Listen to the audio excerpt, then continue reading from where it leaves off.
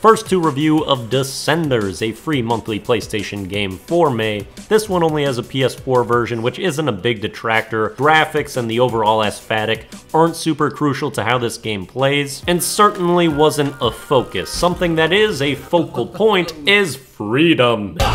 For a downhill cycling game, you're kind of free to do whatever, and it doesn't push you in any direction. The speed at which you complete courses, whether you stay on the path or not, how stylish you are when you play, all of these elements are really up to you and not something that you have to focus on. And on one hand, it's kind of nice that you can customize the game to be able to play how you want to. However, each of these elements only really becomes very satisfying and impressive when you do them with the constraints of those other elements. And they're not really being stakes for doing oh. something too slowly or really going off of the path. Can feel unnatural, like you're chew-eating the game and yourself, and that it's pushing you to a mode of play that's most optimal and also the least fun. Because what's rewarded in this game is progression and completion and not dying or failing, which would lead you to playing things Quantisk, going the easy route. If I was smart, I would just go around. Oh! Even if it takes long, even if you're not doing stuff that's cool. But uh, what's the point of freedom if you're not doing cool shit with it?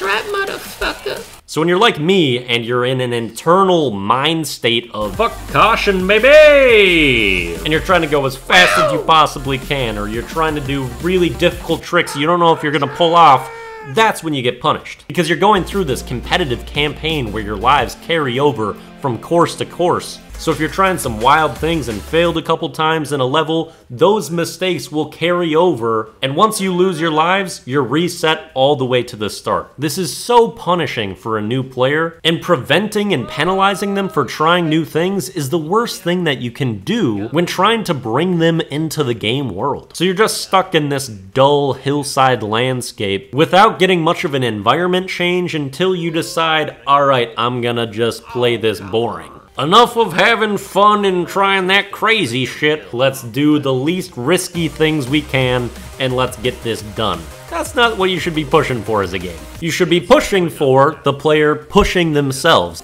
I sure as fuck am not gonna be on them. So these moments where the game feels best is also the most discouraged in the overall scheme of advancing through the game. So lives carrying over cramps creativity with its continuous consequences. Until you cast yourself into conformity and all the freedom you had ends up in you forcing yourself into something that's not all that fun.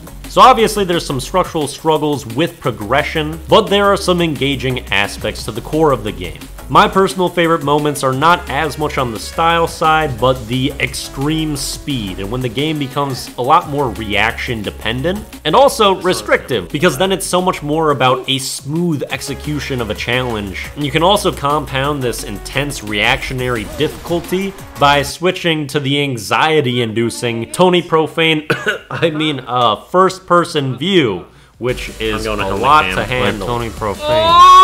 Oh! I also thought that the music was pretty cool and enjoyable, but it also lacks some variety and feels pretty repetitive as well, especially comparing the soundtrack of this game to some of the others I have covered in this series.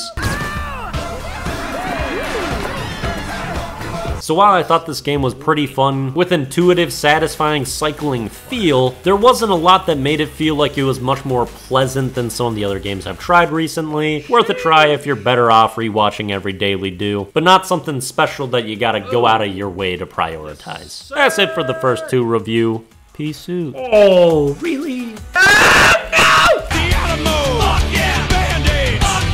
Feel like this is what you do if you want to feel anxious. Really anxious!